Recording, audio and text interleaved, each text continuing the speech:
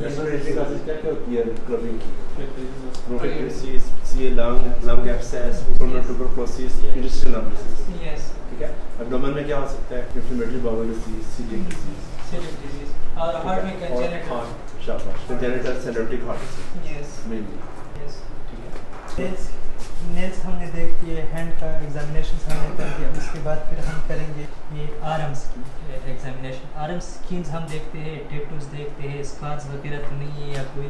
फिर हम इसी वाइटल फोसा को देखते हैं कि ड्रग एब्यूज़र्स तो नहीं है।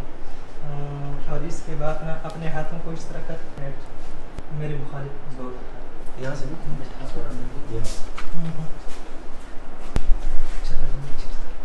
सही है पावर अच्छा उसके बाद हम जी किस चीज़ की बना मरीज़ माथना ना आती है ना? पल्स नहीं चेक करते पल्स ऑक्सीमीटर से उसकी पल्स चेक करते हैं। ये अपनी आदत हटानी है।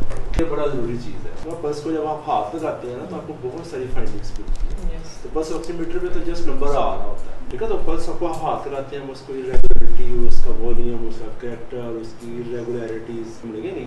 आपको सारा कुछ मिलता है। और एक सेंस ऑफ़ कामनेस आती है जो हम लोग कल बात कर रहे थे लड़ाई क्यों होती है। नहीं एक वजह मेडिसिन से पल्स चेक कर लो तो एक हो जाता है कि डॉक्टर ने चेक तो किया। ठीक है? सर हम जनरल फ़िज़िकल एग्जामिनेशन में अगर वो बोल तो हम पल्स सिर्फ़ रेडियल पल्स चेक करेंगे सारे पल्स तो चेक नहीं नहीं, अगर- सेपरेट स्टेशन आ जाए फिर हम सारे चेक हाँ सेपरेट सेशन क्या लगा पल्स का आया ना फिर होगा। बस बोला क्या है ना? अपने हाथों से शुरू होना है एग्जामिनेशन चेस्ट का बोलना है तो अपने हाथ चेस्ट से शुरू होना। है लेकिन इस समय जितनी भी थी ना चेस्ट एग्जामिनेशन की कमांड, उसमें सारा यही था कि front of the chest back of the chest तो उसमें जो की के जो चीज़ें थी, वो चेस्ट एग्जामिनेशन वाली चीज़ें थी, ठीक है?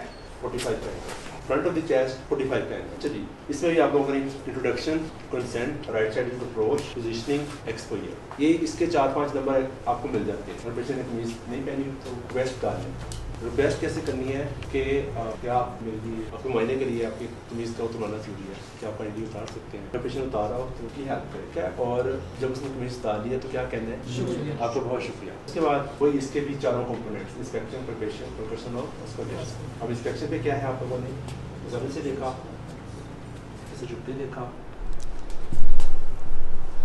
पिछले के लेवल पे आके देखा और फुट एंड ठीक है? और जो फुट एंड की जो फाइंडिंग है ना फुट एंड की फाइंडिंग सबसे ज़्यादा चेस्ट की इंपॉर्टेंट है। चेस्ट मूवमेंट्स चेस्ट में बल्ज का कोई जो भी फाइंडिंग आपको मिलती है वो आपको फुट एंड की इंस्पेक्शन से मिलती है। अच्छा फुट एंड के इंस्पेक्शन में बहुत लोगों ने इसमें एक एक्स्ट्रा काम करते है। वो क्या है? रेस्पिरेटरी चेस्ट एग्जामिनेशन में रेस्पिरेटरी रेट लिख लेना है?